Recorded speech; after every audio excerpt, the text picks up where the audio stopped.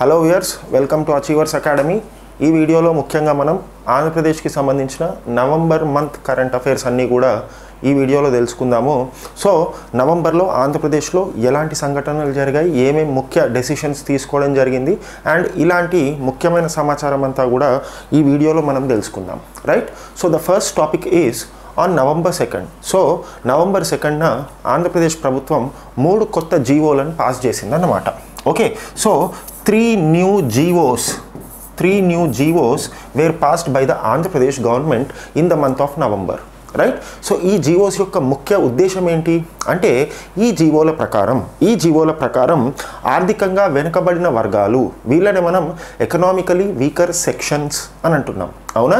So ఈ economically weaker sections యొక్క welfare కోసం ఒక సెపరేట్ డిపార్ట్మెంట్ని ఎస్టాబ్లిష్ చేస్తున్నామని చెప్పేసి నవంబర్ సెకండ్న ఆంధ్రప్రదేశ్ గవర్నమెంట్ అఫీషియల్గా ఒక జీవోని విడుదల చేసిందన్నమాట.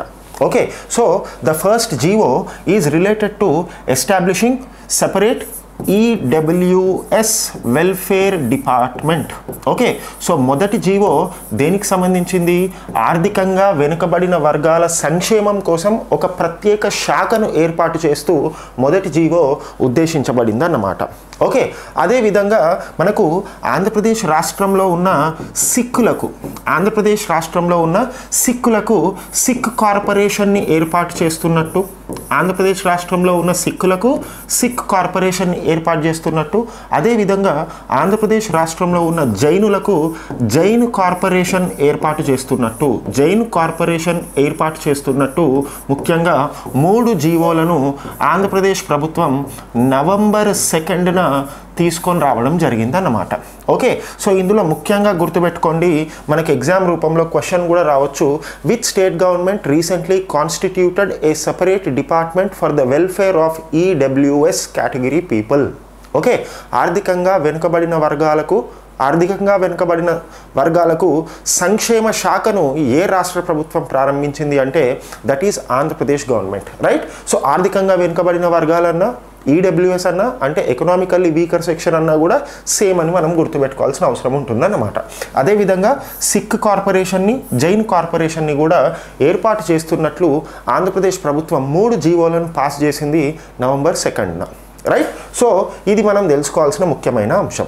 ఆ తర్వాత మనకు ఆంధ్రప్రదేశ్ ప్రభుత్వం మరియు ఒడిషా ప్రభుత్వం అంటే ఇరు రాష్ట్రాల ముఖ్యమంత్రుల సమావేశం జరిగింది నవంబర్ నెలలో right so there was a meeting between the chief minister of Andhra Pradesh and chief minister of Odisha in the month of November so వీళ్ళిద్దరి మధ్యలో అనేక విషయాలు డిస్కషన్ జరిగాయి. అనేక విషయాలపైన వీళ్ళు చర్చించారు. ముఖ్యంగా ఇందులో మనం విషయాలను కనుక చూసుకుంటే మరి ఈ మీటింగ్ ఎక్కడ జరిగింది?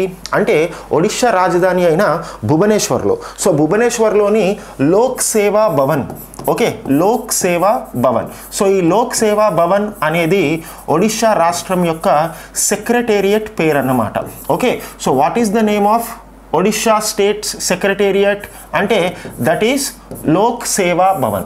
So ఈ లోక్ సేవా భవన్లో ఒడిషా రాష్ట్రం యొక్క సెక్రటేరియట్ అయిన లోక్ సేవా భవన్లో ఇరు రాష్ట్రాల ముఖ్యమంత్రులు సమావేశమయ్యారు. అండ్ వీళ్ళ మధ్యలో డిస్కస్ చేయబడ్డ ఇష్యూస్ ఏంటో ఒకసారి చూద్దాం. వీళ్ళ మధ్యలో డిస్కస్ చేయబడ్డ ఇష్యూస్ ఏంటో ఒకసారి చూద్దాం. మొట్టమొదటిగా మొట్టమొదటిగా వంశధార మరియు జంజావతి. సో ఈ రెండు రాష్ట్రాల మధ్యలో ఉన్న నీటి వివాదాలు ముఖ్యంగా ఏ నదులకు సంబంధించి అంటే వంశధార వంశధార మరియు జంజావతి జంజావతి. సో ఈ రెండు నదులకు సంబంధించిన నీటి వివాదాల గురించి డిస్కస్ చేయడం జరిగింది అన్నమాట నీటి వివాదాల గురించి డిస్కస్ చేయడం జరిగింది వంశధార మరియు జంజావతి. అదేవిధంగా మనకు ఒక హైడ్రో ఎలక్ట్రిక్ ప్రాజెక్ట్.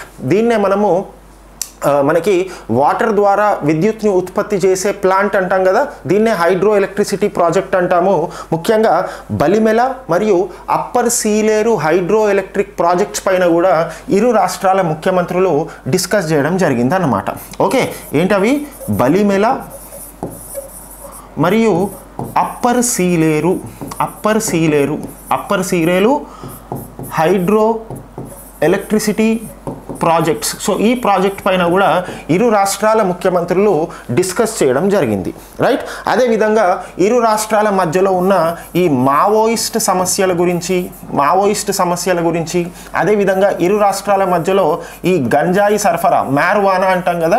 సో ఈ మ్యార్వానా సరఫరా గురించి ఈ మ్యార్వానా సరఫరానిపై మనం ఎలా ఉక్కుపాదం మోపాలి వీటిని ఎలా అరికట్టాలి మావోయిస్ట్ ప్రభావిత ప్రాంతాల్లో ఎలాంటి చర్యలు చేపట్టాలి. సో ఇలాంటి డిష్యూస్ ఇలాంటి ఇష్యూస్పై ఇలాంటి ఇష్యూస్పై ఇరు రాష్ట్రాల ముఖ్యమంత్రులు చర్చించడం జరిగింది. సో ఫైనల్గా ఈ ఇరు రాష్ట్రాల ముఖ్యమంత్రులు ఏం డెసిషన్ తీసుకున్నారు? అంటే ఈ ఇరు రాష్ట్రాలు ఒడిశా మరియు ఆంధ్రప్రదేశ్ మధ్యలో ఉన్న సమస్యలను సాల్వ్ చేయడం కోసం రెండు రాష్ట్రాల చీఫ్ సెక్రటరీలతో రెండు రాష్ట్రాల చీఫ్ సెక్రటరీలతో కూడుకున్న ఒక జాయింట్ కమిటీని ఎస్టాబ్లిష్ చేయాలి అని ఓకే? ఒక జాయింట్ కమిటీని ఎస్టాబ్లిష్ చేయాలి అని ఇరు రాష్ట్రాల ముఖ్యమంత్రుల సమావేశంలో తీర్మానం జరిగిందన్నమాట.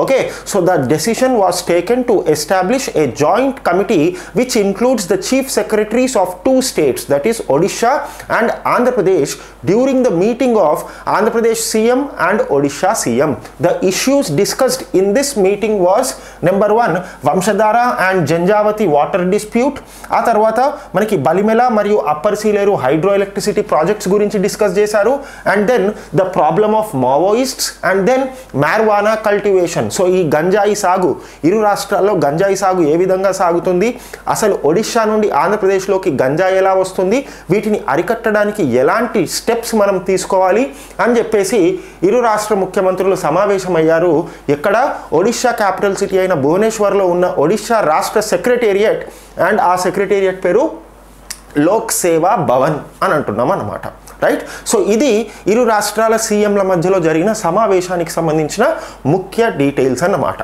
Right now coming on to next important topic so మనకి నవంబర్ నైన్టీన్త్న ఆంధ్రప్రదేశ్ క్యాబినెట్ మీటింగ్ జరిగింది. అండ్ ఈ క్యాబినెట్ మీటింగ్లో అనేక ఇంపార్టెంట్ డెసిషన్లు రాష్ట్ర మంత్రివర్గం క్యాబినెట్ తీసుకోవడం జరిగింది అన్నమాట రైట్ సో ఆ డెసిషన్స్ ఏంటేంటో చూద్దాము. ముందుగా ఫ్యామిలీ డాక్టర్ విధానం అనేది ఆంధ్రప్రదేశ్ ప్రభుత్వం ప్రారంభించింది అన్నమాట సో అత్యవసర మెడికల్ సేవలకు సంబంధించి ఒక అంబులెన్స్ని అదేవిధంగా అందులో మెడికల్ సిబ్బందిని అదేవిధంగా అందులో ఒక డాక్టర్ని దీన్నే మనము ఫ్యామిలీ డాక్టర్ పాలసీ అని అంటాం. అవునా? సో వైద్య సదుపాయాలు అందరికీ అందుబాటులో ఉంచడం కోసం ఫ్యామిలీ డాక్టర్ పాలసీ అనే ఒక పాలసీని తీసుకొని వచ్చింది రాష్ట్ర ప్రభుత్వం. అండ్ దీంట్లో భాగంగానే దీంట్లో భాగంగా భాగంగానే దాదాపు దాదాపు నూట నాలుగు నూట నాలుగు వెహికల్స్ ఏవైతే ఉన్నాయో one nought four vehicles one nought four ambulance అంటాం కదా దాదాపు నాలుగు వందల ముప్పై రెండు వన్ నాట్ ఫోర్ అంబులెన్స్లని కొనుగోలు చేయాలి వన్ నాట్ ఫోర్ అంబులెన్స్లను కొనుగోలు చేయాలి అని రాష్ట్ర క్యాబినెట్ డెసిషన్ తీసుకుందన్నమాట. రైట్? ఇంకో ముఖ్యమైన డెసిషన్ కనుక మనం చూసుకుంటే మనకు అరకులోని అంటే విశాఖపట్నం జిల్లాలో ఉన్న చింతపల్లి మండలం. ఓకే? సో విశాఖపట్నం జిల్లాలో ఉన్న చింతపల్లి మండలంలోని దాదాపు ఇరవై ఒకటి పాయింట్ మూడు ఏడు ఎకరాలను ఇరవై ఒకటి పాయింట్ మూడు ఏడు ఎకరాలను అక్కడ ఒక ట్రైబల్ మ్యూజియం ఓకే ఒక ట్రైబల్ మ్యూజియం అదేవిధంగా ఒక బొటానికల్ గార్డెన్ బొటానికల్ గార్డెన్ని ఏర్పాటు చేయడానికి రాష్ట్ర ప్రభుత్వం విశాఖపట్నం జిల్లాలోని చింతపల్లి మండలంలో దాదాపు ఇరవై ఒకటి పాయింట్ మూడు ఏడు ఎకరాల భూమిని కేటాయించడం జరిగిందన్నమాట. Okay so this twenty one point three seven acres of land would be utilise to establish one tribal museum and also to develop ఏంటి? Botanical garden. రైట్ సో వీటి వల్ల సింపుల్గా జరిగేది ఏంటి అంటే విశాఖపట్నం జిల్లాలో టూరిజం అనేది డెవలప్ అవ్వడం కోసం ఇది దోహదపడుతుందన్నమాట. రైట్ ఆ తర్వాత థర్డ్ పాయింట్ని కనుక మనం చూసుకుంటే ఇంకో ముఖ్యమైన డెసిషన్ ఏం తీసుకున్నారు అంటే ఆంధ్రప్రదేశ్ హైకోర్టులో ఆంధ్రప్రదేశ్ హైకోర్టులో ఒక మీడియేషన్ అండ్ ఆర్బిట్రేషన్ సెంటర్ని ఏర్పాటు చేయాలి. అని డెసిషన్ తీసుకోవడం జరిగింది క్యాబినెట్ సమావేశంలో. అసలు what is this mediation and arbitration centre అంటే ముఖ్యంగా జడ్జి దగ్గరికి వెళ్ళకముందే కేసులను చర్చించి పరిష్కారం చేయడాన్ని మీడియేషన్ ఆర్బిట్రేషన్ అంటాం. అవునా? సో ఇప్పుడు మన ఇంట్లో కానీ లేదా మన వీధిలో కానీ ఏదైనా చిన్న గొడవ అయితే మనకు మీడియేటర్స్ వస్తారు. అవునా? పెద్ద మనుషులు అంటాం కదా. సో ఆ పెద్ద మనుషులు వచ్చి పోలీస్ స్టేషన్కి వెళ్ళక ముందే ఇక్కడే ఏదో ఒక కాంప్రమైజ్ చేస్తారు. అవునా? సో దీన్నే మనం మీడియేషన్ అండ్ ఆర్బిట్రేషన్ సెంటర్ అని అంటాం అన్నమాట. రైట్? సో ఇలాంటి ఒక మీడియేషన్ అండ్ ఆర్బిట్రేషన్ సెంటర్ని ఏర్పాటు చేయాలి అని చెప్పేసి రాష్ట్ర ప్రభుత్వం రాష్ట్ర క్యాబినెట్ కేంద్ర మంత్రివర్గ రాష్ట్ర మంత్రివర్గం డెసిషన్ తీసుకుందన్నమాట. ఏంటది? మీడియేషన్ అండ్ ఆర్బిట్రేషన్ సెంటర్ ఎక్కడ ఎస్టాబ్లిష్ చేయాలి అని? అంటే ఆంధ్రప్రదేశ్ హైకోర్టులో దీన్ని ఎస్టాబ్లిష్ చేయాలి అని రాష్ట్ర మంత్రివర్గం డెసిషన్ తీసుకోవడం జరిగిందన్నమాట. రైట్ ఇంకో ముఖ్యమైన డెసిషన్ ఏం తీసుకున్నారు? అంటే ముఖ్యంగా Shri Venkateswara medical college. So తిరుపతిలో ఉన్న శ్రీ వెంకటేశ్వర. శ్రీ వెంకటేశ్వర మెడికల్ కాలేజ్ ఏదైతే ఉందో దీని యొక్క బాధ్యతల నుండి రాష్ట్ర ప్రభుత్వం తప్పుకుంది. అండ్ ఈ శ్రీ వెంకటేశ్వర మెడికల్ కాలేజ్ యొక్క బాధ్యతలను ఎవరికి అప్పగించారంట? టీటీడీకి అప్పగిస్తున్నట్టు కే రాష్ట్ర మంత్రివర్గం డెసిషన్ తీసుకోవడం జరిగిందన్నమాట. రైట్ ఆ తర్వాత ఇంకో ముఖ్యమైన డెసిషన్ ఏంటి అంటే రాష్ట్రంలో కొత్తగా రెండు కొత్త యూనివర్సిటీలను ఎస్టాబ్లిష్ చేయాలి అని చెప్పేసి స్టేట్ క్యాబినెట్ డెసిషన్ తీసుకోవడం జరిగింది. అండ్ దాంట్లో భాగంగా ఒక యూనివర్సిటీ దాని పేరే ఆంధ్ర కేసరి యూనివర్సిటీ ఆంధ్ర కేసరి యూనివర్సిటీ పేరుతో ప్రకాశం జిల్లాలో ప్రకాశం జిల్లాలో ఆంధ్ర కేసరి యూనివర్సిటీ పేరుతో ఒక యూనివర్సిటీని అదేవిధంగా విజయనగరం జిల్లాలో విజయనగరం జిల్లాలో జేఎన్టీయుని ఏర్పాటు చేయాలి. విజయనగరం జిల్లాలో జేఎన్టీయుని ఏర్పాటు చేయాలి. అండ్ ఈ జేఎన్టీయుకి అంటే విజయనగరంలో ఏర్పాటు చేయబోయే ఈ జేఎన్టీయుకి జేఎన్టీయు జీవీగా నామకరణం చేశారన్నమాట. Okay so Jawaharlal Nehru technological university Gurajada Vizianagaram. GV అంటే ఏంటి? గురజాడ విజయనగరంగా పేరు పెట్టడం జరిగిందన్నమాట. రైట్? సో నవంబర్ నైన్టీన్త్న జరిగిన స్టేట్ క్యాబినెట్ సమావేశంలో తీసుకున్న ముఖ్యమైన డెసిషన్లు ఈ ఐదు డెసిషన్లు గుర్తుపెట్టుకోవాల్సిన అవసరం ఉంటుందన్నమాట. Right? So family doctor policy విధానంలో భాగంగా four hundred and thirty two one nought four అంబులెన్స్లను కొనుగోలు చేయాలని ఆ తర్వాత విశాఖపట్నం జిల్లాలోని చింతపల్లి మండలంలో ఇరవై ఒకటి పాయింట్ మూడు ఏడు ఎకరాలను ట్రైబల్ మ్యూజియం బొటానికల్ గార్డెన్ని డెవలప్ చేయడం కోసం కేటాయించాలని ఆ తర్వాత ఆంధ్రప్రదేశ్ హైకోర్టులో ఒక మీడియేషన్ మరియు ఆర్బిట్రేషన్ సెంటర్ని ఏర్పాటు చేయాలి అని and then Shri Venkateswara medical college యొక్క బాధ్యతలను టీటీడీకి అప్పగించాలని ఆ తర్వాత రెండు కొత్త యూనివర్సిటీలని ఎస్టాబ్లిష్ చేయాలి అని ఆంధ్రకేసరి యూనివర్సిటీ పేరుతో ప్రకాశం జిల్లాలో జేఎన్టీయు జీవి పేరుతో విజయనగరం జిల్లాలో ఈ యూనివర్సిటీలను ఎస్టాబ్లిష్ చేయాలి అని రాష్ట్ర మంత్రివర్గం డెసిషన్ తీసుకోవడం జరిగిందన్నమాట. రైట్? సో ఇది మనకు రాష్ట్ర మంత్రివర్గం తీసుకున్న ముఖ్యమైన డెసిషన్లు నవంబర్ నైన్టీన్త్న. రైట్? ఆ తర్వాత మనకు ఇటీవల controller and auditor general. Controller and auditor general కొన్ని ముఖ్యమైన అకౌంట్స్ అకౌంట్స్ వివరాలను ఆంధ్రప్రదేశ్ రాష్ట్రానికి సంబంధించి కొన్ని ముఖ్యమైన అకౌంట్స్ వివరాలను తెలపడం జరిగింది. సో ఈ సిఏజీ నివేదిక ప్రకారం ఈ సిఏజీ నివేదిక ప్రకారం ముఖ్యంగా ఇది రెండు వేల పంతొమ్మిది ఇరవై ఆర్థిక సంవత్సరానికి సంబంధించి two thousand nineteen twenty financial ఇయర్కి సంబంధించిన కాగ్ రిపోర్ట్ అన్నమాట. సో కాగ్ అంటే ఏంటి? Control and auditor general right so ఈ twenty nineteen twenty financial year ఆంధ్రప్రదేశ్కి సంబంధించి కాగ్ రిపోర్ట్ ఏం చెప్తుంది అంటే ఈ ట్వంటీ నైన్టీన్ ట్వంటీ ఫైనాన్షియల్ ఇయర్కి సంబంధించి ఆంధ్రప్రదేశ్ యొక్క గ్రోత్ రేట్ ఆంధ్రప్రదేశ్ యొక్క వృద్ధి రేటు ఎలా ఉందంట? అంటే ఆంధ్రప్రదేశ్ యొక్క వృద్ధి రేటు పన్నెండు పాయింట్ ఏడు మూడు శాతంగా ఉంది. ట్వెల్వ్ పాయింట్ సెవెన్ త్రీ పర్సెంట్గా ఆంధ్రప్రదేశ్ వృద్ధి రేటు ఉంది అని ఈ కాగ్ నివేదిక చెప్తుందన్నమాట. రైట్? ఆ తర్వాత ఆంధ్రప్రదేశ్లో food grains production. Okay so ఆహార ధాన్యాల ఉత్పత్తి ఫుడ్ గ్రెయిన్ ప్రొడక్షన్ ఏ విధంగా ఉంది? అంటే ఆంధ్రప్రదేశ్లో గడిచిన ఏడాది అంటే రెండు వేల పంతొమ్మిది ఇరవై ఆర్థిక సంవత్సరంలో ఆంధ్రప్రదేశ్లో ఆహార ధాన్యాల ఉత్పత్తి one hundred and seventy one point three seven lakh టన్స్గా ఉందన్నమాట. ఓకే? నూట డెబ్బై ఒకటి పాయింట్ మూడు ఏడు లక్షల టన్నులుగా ఆహార ధాన్యాల ఉత్పత్తి ఉంది. అండ్ గత సంవత్సరంతో పోలిస్తే పదహారు శాతం పదహారు శాతం వృద్ధి నమోదు చేసింది ఆహార ధాన్యాల ఉత్పత్తిలో ఆంధ్రప్రదేశ్. రైట్? అదేవిధంగా అదేవిధంగా మార్చ్ ఇరవై ఇరవై అంటే మార్చ్ ట్వంటీ ట్వంటీ కల్లా ఆంధ్రప్రదేశ్ యొక్క అప్పు భారం అంటే డెట్ బర్డెన్ అంటాం సో ఆంధ్రప్రదేశ్ యొక్క అప్పుల భారం ఆంధ్రప్రదేశ్ యొక్క అప్పుల భారం ఏ విధంగా ఉంది? డెట్ బర్డెన్ అని అంటాము ఇంగ్లీష్లో దీన్ని. ఓకే? సో ఆంధ్రప్రదేశ్ యొక్క డెప్ట్ బర్డెన్ కనుక మనం చూసుకుంటే రెండు లక్షల పదిహేను వేల ఆరు వందల పదిహేడు కోట్లుగా. ఓకే? రెండు లక్షల పదిహేను వేల ఆరు వందల పదిహేడు కోట్ల అప్పుల్లో ఉంది ఆంధ్రప్రదేశ్ ప్రభుత్వం. అని ఈ కాగ్ నివేదిక చెప్తుందన్నమాట. ఓకే సో ఆంధ్రప్రదేశ్ రాష్ట్రం యొక్క అప్పు ఎంత ఉంది రెండు లక్షల పదిహేను వేల ఆరు వందల పదిహేడు కోట్లుగా ఉందని చెప్తుందన్నమాట. రైట్ సో ఈ పాయింట్ని కూడా గుర్తుపెట్టుకోవాలి. ఇక revenue deficit revenue deficit. So revenue deficit ఎలా ఉంది? సో రెవెన్యూ డెఫిషిట్ అంటే ఏంటి? ఎప్పుడైనా గుర్తుపెట్టుకోండి ఆదాయం కన్నా ఖర్చు ఎక్కువగా ఉంటే దాన్ని మనం రెవెన్యూ డెఫిషిట్ అని అంటామన్నమాట. ఓకే సో దీన్నే తెలుగులో రెవెన్యూ లోటు అని కూడా అంటాం. రెవెన్యూ లోటు అని కూడా అంటాము. సో ప్రస్తుతం ఆంధ్రప్రదేశ్ యొక్క రెవెన్యూ లోటు ఎంత శాతంగా ఉంది అంటే తొంభై పాయింట్ రెండు నాలుగు శాతంగా ఉంది. తొంభై పాయింట్ రెండు నాలుగు శాతంగా ఆంధ్రప్రదేశ్ యొక్క రెవెన్యూ లోటు ఉందని కాగ్ నివేదిక చెప్తుంది. రైట్? సో మళ్ళీ ఒకసారి రివైజ్ చేసుకుందాము. So twenty nineteen twenty twenty financial ఇయర్కి సంబంధించి ఆంధ్రప్రదేశ్ రాష్ట్రానికి సంబంధించి కాగ్ రిపోర్ట్ విడుదలైంది. సో ఈ కాగ్ రిపోర్ట్ ఏం చెప్తుంది అంటే the growth rate of Andhra Pradesh during the year twenty nineteen twenty was twelve point seven three percent. ఇదే సంవత్సరంలో ఆంధ్రప్రదేశ్లో sixteen percent food grain production పెరిగింది.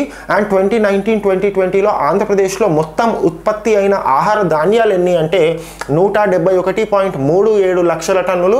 ఇక ఆంధ్రప్రదేశ్ యొక్క మొత్తం అప్పు ఎంత ఉంది అని అంటే రెండు లక్షల పదిహేను వేల ఆరు వందల పదిహేడు కోట్లుగా ఉంది.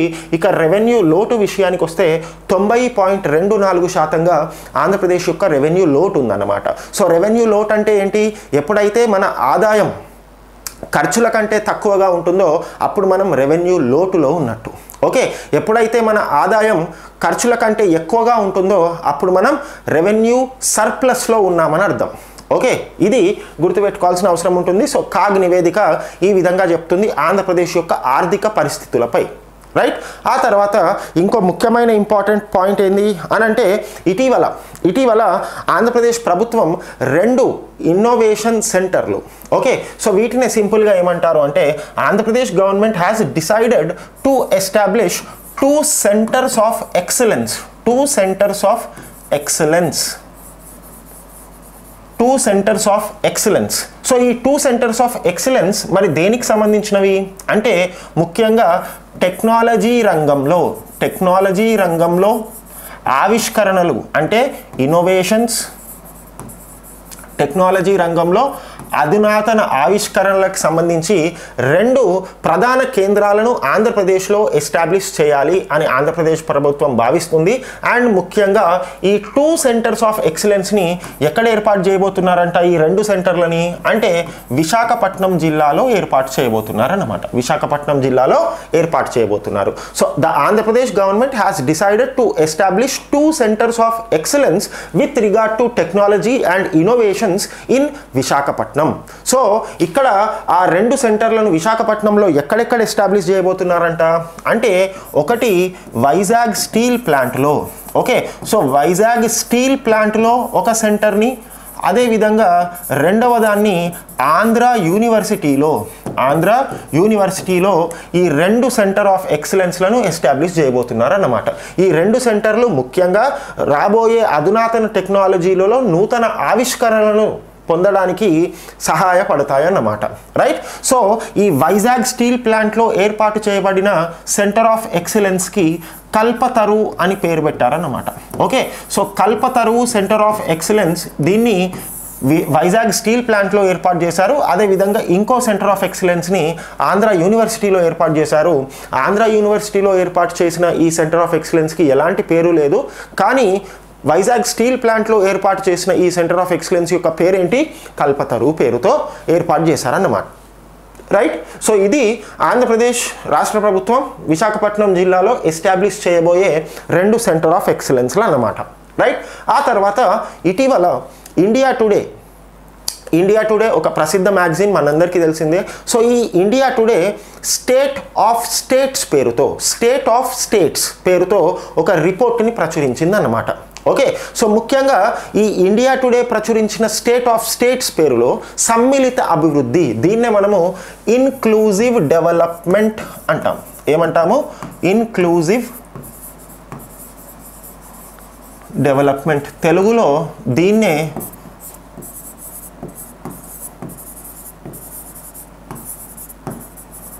సమ్మిళిత అభివృద్ధి. So Andhra India today magazine రూపొందించిన సమ్మిళిత అభివృద్ధిలో రాష్ట్రాల్లో ఏ రాష్ట్రం మొదట్లో నిలిచింది మొదటి స్థానంలో నిలిచింది అంటే అది Andhra Pradesh. Okay so Andhra Pradesh stood in the first place with regard to inclusive development survey published by India Today magazine titled as state of states right so inclusive development విభాగంలో భారతదేశంలోని అన్ని రాష్ట్రాల కంటే ఆంధ్రప్రదేశ్ మొదటి స్థానంలో సమ్మిళిత అభివృద్ధి విభాగంలో ఆంధ్రప్రదేశ్ రాష్ట్రం అన్ని రాష్ట్రాల కంటే మొదటి స్థానంలో నిలిచింది అని ఇండియా మ్యాగజైన్ ప్రచురించిన ఈ స్టేట్ ఆఫ్ స్టేట్స్ నివేదిక చెప్తుందన్నమాట. రైట్ సో ఇక అన్ని విభాగాల్లో మొదటి స్థానంలో నిలిచిన రాష్ట్రం ఏది? అంటే అది తమిళనాడు. రైట్ సో ఆంధ్రప్రదేశ్ కూడా మొదటి స్థానంలో నిలిచింది. కానీ ఏ విభాగంలో? సమ్మిళిత అభివృద్ధి ఇన్క్లూజివ్ డెవలప్మెంట్ అనే విభాగంలో ఆంధ్రప్రదేశ్ మొదటి స్థానంలో నిలిచింది. అన్ని విభాగాల్లో అన్ని రకాల కేటగిరీస్లో మొదటి స్థానంలో నిలిచింది తమిళనాడు. ఎక్స్క్లూజివ్గా ఇన్క్లూజివ్ డెవలప్మెంట్లో మాత్రం ఆంధ్రప్రదేశ్ ఆంధ్రప్రదేశ్ మొదటి స్థానంలో నిలిచిందన్నమాట. Okay so last year inclusive డెవలప్మెంట్లో ఆంధ్రప్రదేశ్ ఏడవ స్థానాన్ని సంపాదించుకుంది. ఇక ట్వంటీ ట్వంటీ వన్లో ఆంధ్రప్రదేశ్ ఫస్ట్ స్థానాన్ని సంపాదించుకుంది అన్నమాట మొదటి స్థానాన్ని సంపాదించుకుంది. రైట్ సో ఈ పాయింట్ని కూడా మనం గుర్తుపెట్టుకోవాలి. మోస్ట్ ఇంపార్టెంట్ రైట్ ఆ తర్వాత ఇటీవల ఇటీవల వైఎస్ఆర్ అవార్డ్స్ కార్యక్రమం అనేది జరిగింది. అండ్ ఈ వైఎస్ఆర్ అవార్డ్స్ అవార్డుల ప్రధాన కార్యక్రమంలో ముఖ్య అతిథిగా ఆంధ్రప్రదేశ్ గవర్నర్ బిశ్వభూషణ్ హరిచందన్ పాల్గొన్నారన్నమాట. సో అతని చేతుల మీదుగానే ఈ అవార్డులను ప్రదానం చేయడం జరిగింది. అండ్ దీనికి ఈ అవార్డు సెరమనీకి ఆంధ్రప్రదేశ్ రాష్ట్ర ముఖ్యమంత్రి జగన్మోహన్ రెడ్డి కూడా హాజరవ్వడం జరిగింది. సో ఈ YSR awards ceremony so YSR awards. So దివంగత మాజీ సీఎం వైఎస్ రాజశేఖర్ రెడ్డికి గుర్తుగా అవార్డులను ప్రదానం చేయాలి. సో ప్రతి సంవత్సరం ఈ అవార్డులను ప్రదానం చేస్తాము. ఎప్పుడు? నవంబర్ ఫస్ట్న. సో ఈ విధంగా డెసిషన్ కూడా తీసుకోవడం జరిగిందన్నమాట. సో ప్రతి సంవత్సరం నవంబర్ ఫస్ట్న. అంటే ఆంధ్రప్రదేశ్ అవతరణ దినోత్సవం నాడు ఈ వైఎస్ఆర్ అవార్డ్స్ని ప్రతి సంవత్సరం అందిస్తాము అని రాష్ట్ర ప్రభుత్వం ప్రకటించింది. సో ఈ రెండు వేల ఇరవై ఒకటో సంవత్సరానికి సంబంధించి అవార్డు ప్రదాన కార్యక్రమం అనేది రీసెంట్గా విజయవాడలో జరిగింది. అండ్ దానికి ముఖ్య అతిథిగా ఆంధ్రప్రదేశ్ గవర్నర్గా ఉన్న బిశ్వభూషణ్ హరిచందన్ హాజరయ్యాడు అండ్ అవార్డు గ్రహీతలకు అవార్డులను ప్రదానం చేశారన్నమాట. సో దీంట్లో భాగంగా మొత్తం ఇరవై తొమ్మిది మందికి ఇరవై తొమ్మిది మందికి వైఎస్ఆర్ జీవన సాఫల్య పురస్కారం. దీన్నే మనము YSR lifetime achievement award అని అంటామన్నమాట. ఓకే జీవన సాఫల్య పురస్కారాలను అందించారు. జీవన సాఫల్య పురస్కారాలను మొత్తం ఇరవై తొమ్మిది మందికి అందించారు. ఇక ముప్పై మందికి వైఎస్ఆర్ సాఫల్య పురస్కారాలు వైఎస్ఆర్ అచీవ్మెంట్స్ అవార్డ్ ప్రకటించారన్నమాట. రైట్? సో టోటల్గా ఫిఫ్టీ నైన్ మెంబర్స్కి ఈ అవార్డులను ప్రదానం చేయడం జరిగింది. రైట్ అదేవిధంగా ఇక్కడ గుర్తుపెట్టుకోవాల్సింది ఏంటి అంటే వైఎస్ఆర్ జీవన సాఫల్య అవార్డులు పొందిన వారికి పది లక్షల రూపాయల నగదుగా ఇవ్వడం జరుగుతుంది. Ten lakh rupees reward was also given to the awardees of YSR lifetime achievement award and at the same time you have to remember that YSR achievement award అంటే వైఎస్ఆర్ సాఫల్య పురస్కారాలను పొందిన ముప్పై మందికి ఐదు లక్షల రూపాయల నగదు బహుమతిని కూడా ప్రకటించారు. ఐదు లక్షల రూపాయల నగదు బహుమతిని కూడా ప్రకటించడం జరిగింది. సో ఈ పాయింట్స్ని మనం గుర్తుపెట్టుకోవాలి. అండ్ ఇదే మీటింగ్లో ముఖ్యమంత్రి జగన్మోహన్ రెడ్డి కూడా ప్రకటించాడు. ఏమని అంటే ప్రతి సంవత్సరం నవంబర్ ఫస్ట్ నుండి వైఎస్ఆర్ అవార్డుల ప్రధాన కార్యక్రమం జరగబోతుంది. ఇది ప్రతి సంవత్సరం జరుగుతుంది అని ప్రకటించాడన్నమాట సో టోటల్గా యాభై తొమ్మిది మందికి ఈ అవార్డులను ప్రదానం చేశారు. రైట్? సో గుర్తుపెట్టుకోవాలి మోస్ట్ ఇంపార్టెంట్. ఓకే? ఆ తర్వాత ఆ తర్వాత మనకు ఇటీవల ఆంధ్రప్రదేశ్ రైల్వేస్ అంటే సెంట్రల్ రైల్వేసే ఉంటాయి కాబట్టి సెంట్రల్ గవర్నమెంట్లో రైల్వేలు ఉంటాయి కాబట్టి ఆంధ్రప్రదేశ్ రైల్వేస్ అని ఏమీ సపరేట్గా ఉండవు. సో ఇండియన్ రైల్వేస్కి సంబంధించిన ఇండియన్ రైల్వేస్కి సంబంధించిన అతిపెద్ద గూడ్స్ ట్రైన్ అతిపెద్ద గూడ్స్ ట్రైన్ సో దాదాపు రెండు వందల ముప్పై నాలుగు బోగీలు రెండు వందల ముప్పై నాలుగు బోగీలతో నిండి ఉన్న goods train. Okay goods train ఇటీవల విజయవాడ నుండి ఒడిశాలోని తాల్చేర్కు ప్రయాణం మొదలుపెట్టింది అన్నమాట ఓకే ఒడిశాలోని తాల్చేర్కి ప్రయాణం మొదలుపెట్టింది. సో ఈ గూడ్స్ ట్రైన్ ఎక్కడి నుండి ఎక్కడి వరకు? విజయవాడ టు ఒడిశాలోని తాల్చేర్ అనే పట్టణానికి ప్రయాణం మొదలుపెట్టింది అన్నమాట సో ఇది ది ఈ రెండు వందల ముప్పై నాలుగు బోగీలున్న ఈ ట్రైన్ పేరు ఏమని పెట్టారంట? అంటే బ్రహ్మాస్త్ర. బ్రహ్మాస్త్ర పేరుతో బ్రహ్మాస్త్ర పేరుతో రెండు వందల ముప్పై నాలుగు బోగీలు కలిగిన గూడ్స్ ట్రైన్ని విజయవాడ నుండి తాల్చేర్ మధ్యలో నడపడం జరిగింది. సో ముఖ్యంగా ఇది బొగ్గు సరఫరా చేసే ట్రైన్ అన్నమాట. ఓకే? సో కోల్ కోల్ ట్రాన్స్పోర్ట్కి సంబంధించి ఇది ఒక ముఖ్యమైన ట్రైన్గా మనం చెప్పొచ్చు. అండ్ ఏలూరు మీదుగా ఇది ఒడిశాలోని తాల్చేరికి తన ప్రయాణం మొదలుపెట్టింది అన్నమాట రైట్ సో దాదాపు రెండు వందల ముప్పై నాలుగు బోగీలతో బ్రహ్మాస్త్ర పేరుతో ఉన్న ఈ బొగ్గు సరఫరా గూడ్స్ ట్రైన్ అనేది విజయవాడ నుండి తాల్చేర్ వరకు ప్రారంభమైంది. రైట్ సో మోస్ట్ ఇంపార్టెంట్ గుర్తుపెట్టుకోవాలి బ్రహ్మాస్త్ర దాని పేరు రెండు వందల ముప్పై నాలుగు బోగీలు. రైట్ సో ఈ ముఖ్యంగా ఈ గూడ్స్ ట్రైన్ బొగ్గు సరఫరా కోసం ఉద్దేశించిన ట్రైన్ అని కూడా గుర్తుపెట్టుకోవాలి. రైట్ ఆ తర్వాత ఇటీవల ఆంధ్రప్రదేశ్ శాసన మండలి చైర్మన్గా ఆంధ్రప్రదేశ్ శాసన మండలి చైర్మన్గా కొయ్యే మోసేను రాజు ప్రమాణ స్వీకారం చేశారన్నమాట. Right so Andhra Pradesh legislative council Andhra Pradesh legislative కౌన్సిల్కి చైర్మన్గా ఆంధ్రప్రదేశ్ లెజిస్లేటివ్ కౌన్సిల్కి చైర్మన్గా కొత్తగా ఒక వ్యక్తి ప్రమాణ స్వీకారం చేశాడు. అతని పేరు కొయ్యే Moshen Raju Koyye Moshen Raju has been elected as the chairman of Andhra Pradesh legislative council right so Andhra Pradesh శాసన మండలి నూతన చైర్మన్గా కొయ్యే మోసేను రాజు ప్రమాణ స్వీకారం చేయడం జరిగింది. ఇక్కడ మనకు పిక్చర్లో కూడా అతను కనిపిస్తూ ఉన్నాడు. రైట్ సో ఈ పాయింట్ని కూడా మనం గుర్తుపెట్టుకోవాలి. మోస్ట్ ఇంపార్టెంట్ ఓకే ఆ తర్వాత మనకి ఆంధ్రప్రదేశ్ ప్రభుత్వానికి సంబంధించి నవంబర్ నెలలో ఇంకో కీలక అంశం అదే మూడు రాజధానుల బిల్లును రద్దు చేస్తున్నట్టు మూడు రాజధానుల బిల్లును రద్దు చేస్తున్నట్టు ఆంధ్రప్రదేశ్ ప్రభుత్వం ప్రకటించింది అన్నమాట సో దీనికి అంటే ఈ మూడు రాజధానుల బిల్లును రద్దు చేస్తున్నట్టు ఆంధ్రప్రదేశ్ ప్రభుత్వం అసెంబ్లీలో తీర్మానం ప్రవేశపెట్టింది. అండ్ ఆ తీర్మానాన్ని అసెంబ్లీలో ప్రవేశపెట్టిన వ్యక్తి ఆంధ్రప్రదేశ్ ఫైనాన్స్ మినిస్టర్గా ఉన్న బుగ్గన రాజేంద్రనాథ్ రెడ్డి. రైట్ సో బుగ్గన రాజేంద్రనాథ్ రెడ్డి మూడు రాజధానుల బిల్లును మూడు రాజధానుల బిల్లును రద్దు చేస్తున్నట్టు రద్దు చేస్తున్నట్టు ఆంధ్రప్రదేశ్ అసెంబ్లీలో తీర్మానాన్ని ప్రవేశపెట్టారు.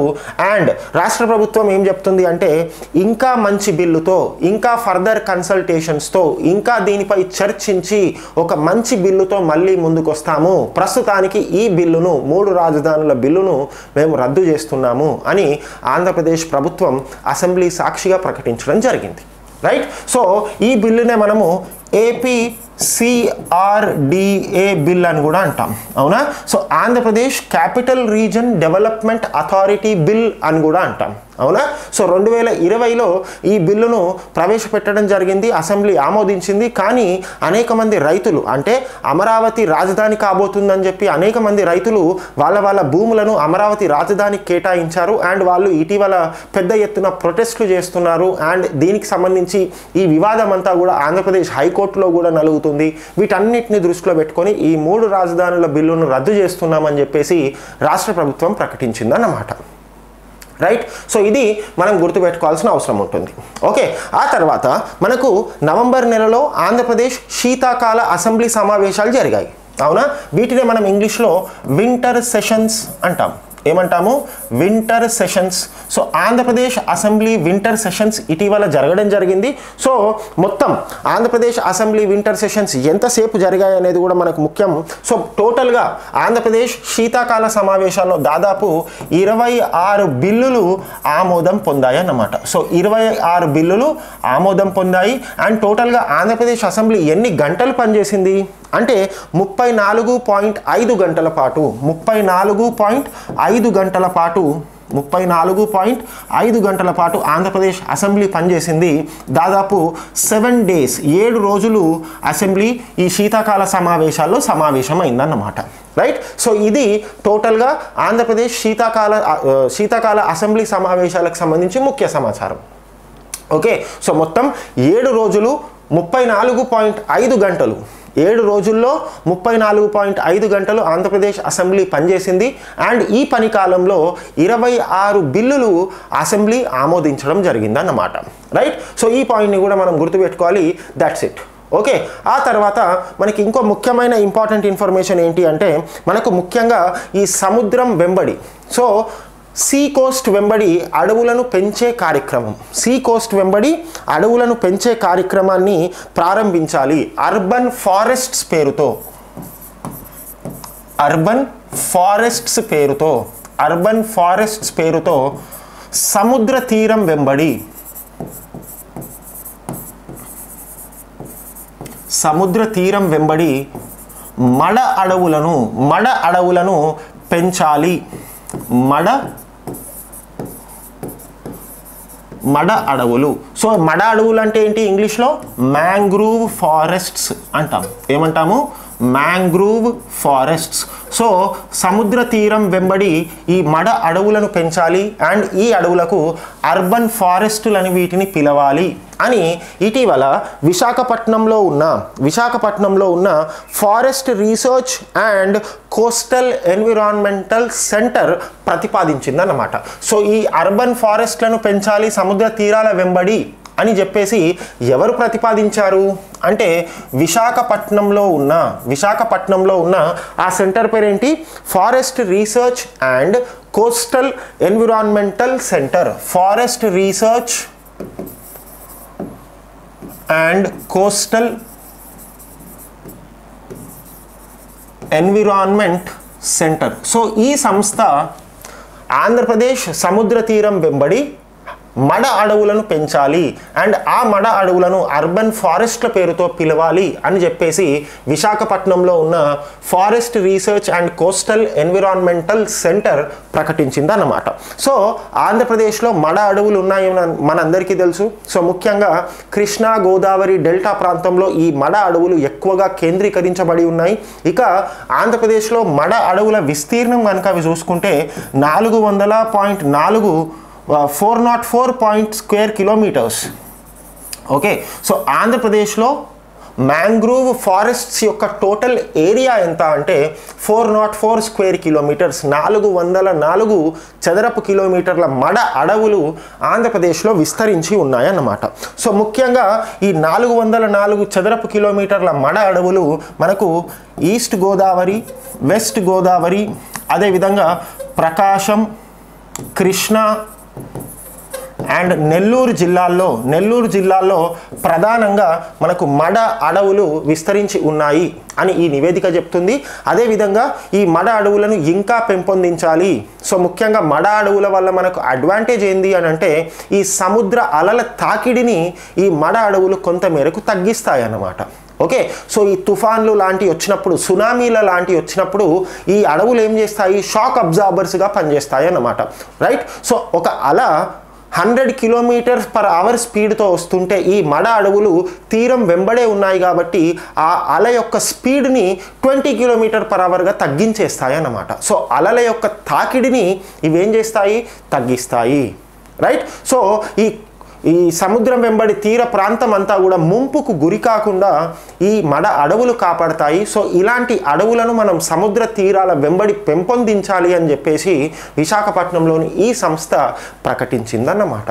రైట్? సో ఈ పాయింట్ని కూడా మనం గుర్తుపెట్టుకోవాలి. ఆ తర్వాత ఆంధ్రప్రదేశ్ రాష్ట్ర ప్రభుత్వానికి సంబంధించి అదేవిధంగా ఆంధ్రప్రదేశ్ అభివృద్ధికి సంబంధించి పార్లమెంటు సమావేశాల్లో ఆంధ్రప్రదేశ్కి చెందిన రాజ్యసభ మరియు లోక్సభ ఎంపీలు అనేక ప్రశ్నలు అడిగారు. సో ఆ ప్రశ్నలకు సమాధానం ఇస్తూ ఆ ప్రశ్నలకు సమాధానం ఇస్తూ ముఖ్యంగా మనకు సెంట్రల్ మినిస్టర్ అయిన ప్రహ్లాద్ జోషి గనుల శాఖ మంత్రిగా ఉన్న ప్రహ్లాద్ జోషి కొన్ని కీలక పాయింట్లని చెప్పాడన్నమాట సో మొదటి పాయింట్ ఏం చెప్తున్నాడు అంటే ఆంధ్రప్రదేశ్కి రెండు వేల ఇరవై ఇరవై ఒకటి ఆర్థిక సంవత్సరానికి పదమూడు పాయింట్ పదమూడు పాయింట్ రెండు నాలుగు మిలియన్ టన్నుల మిలియన్ టన్నుల బొగ్గును సరఫరా చేశాము బొగ్గును సరఫరా చేశాము అని ప్రకటించాడన్నమాట. Okay? So thirteen point two four million tons of goal of coal was given to Andhra Pradesh అని కేంద్ర మంత్రి ప్రహ్లాద్ జోషి ప్రకటించాడు.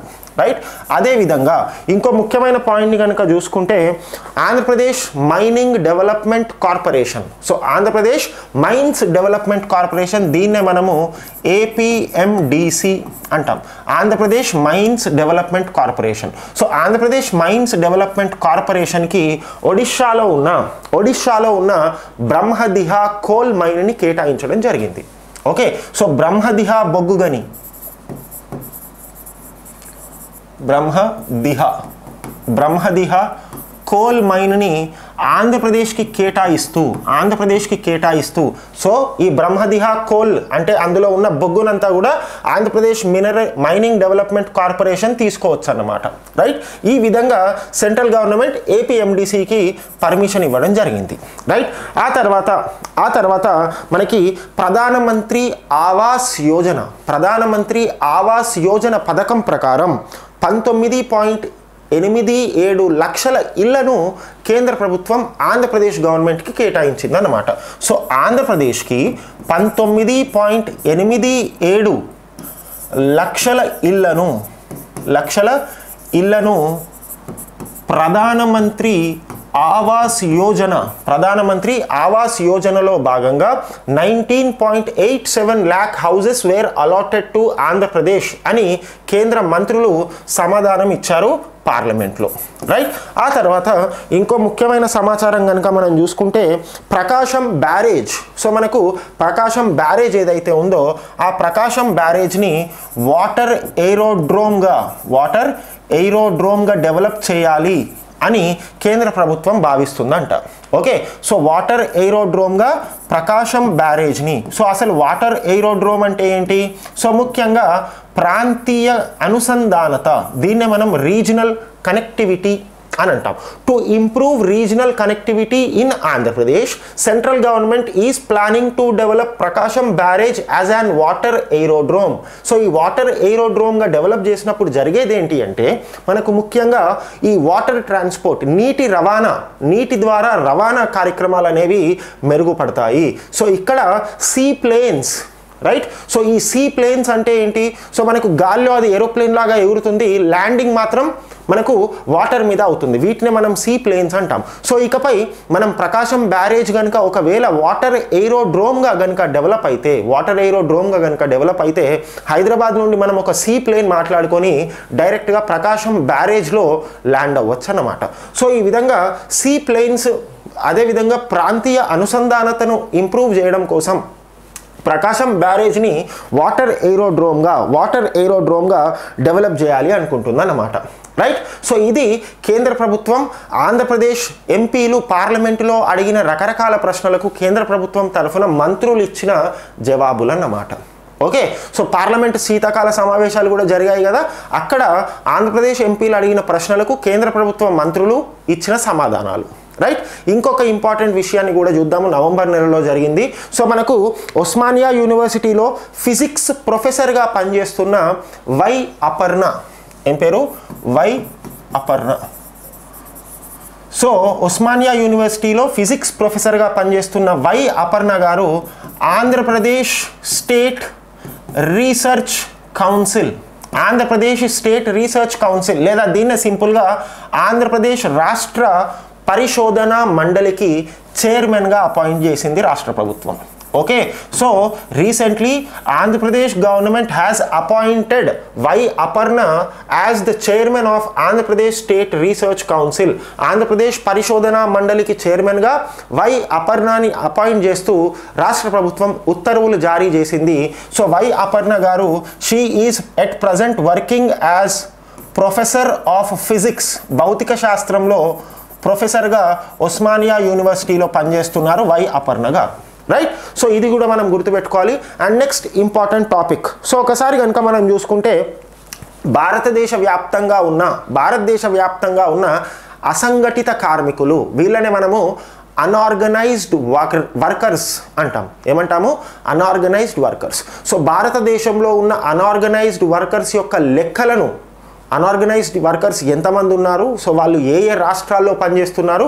ఇదంతా ఒక డేటాబేస్గా తయారు చేయాలి అని చెప్పేసి ministry of labour and employment కార్మిక మరియు ఉపాధి మంత్రిత్వ శాఖ ఒక పోర్టల్ని తయారు చేసింది. ఆ పోర్టల్ పేరు ఏంటి ఈ శ్రమ్ పోర్టల్ ఏంటి? ఈ శ్రమ్ పోర్టల్. సో ఈ ఈ శ్రమ్ పోర్టల్లో ఎవరైతే లేబర్ ఉన్నారో కూలీలు ఉన్నారో అసంఘటిత కార్మికులు ఉన్నారో వాళ్ళందరూ కూడా తమ పేర్లను ఇందులో నమోదు చేసుకోవాలి అని కేంద్ర ప్రభుత్వం ప్రకటించింది. అండ్ దీంట్లో భాగంగా భారతదేశ వ్యాప్తంగా overall eight point nine seven crore unorganised workers have registered their names in this portal right so e Shram పోర్టల్లో దాదాపు ఎనిమిది కోట్ల తొంభై ఏడు లక్షల మంది అసంఘటిత కార్మికులు తమ పేర్లను నమోదు చేసుకున్నారు. ఇక ఆంధ్రప్రదేశ్ విషయానికి వస్తే ఆంధ్రప్రదేశ్ విషయానికి వస్తే పద్నాలుగు లక్షల తొంభై ఒక్క వేల పద్నాలుగు లక్షల తొంభై ఒక్క వేల నూట అరవై ఒక మంది. Okay?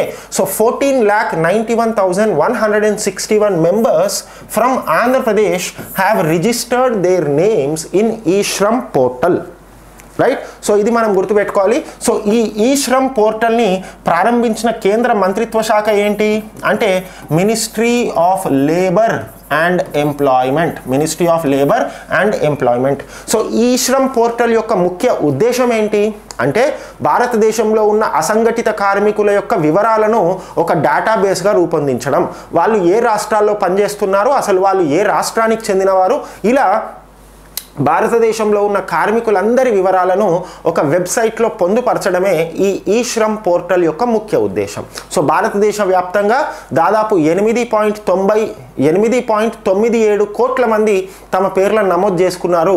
అండ్ అందులో ఆంధ్రప్రదేశ్ నుండి పద్నాలుగు లక్షల తొంభై ఒక్క వేల నూట అరవై ఒక మంది తమ పేర్లను నమోదు చేసుకోవడం జరిగిందన్నమాట. రైట్? సో ఇక్కడితో మనకు నవంబర్ మంత్కి సంబంధించి ఈ మోస్ట్ ఇంపార్టెంట్ కరెంట్ అఫైర్స్ సెషన్ని మనం కంప్లీట్ చేయబోతున్నాము.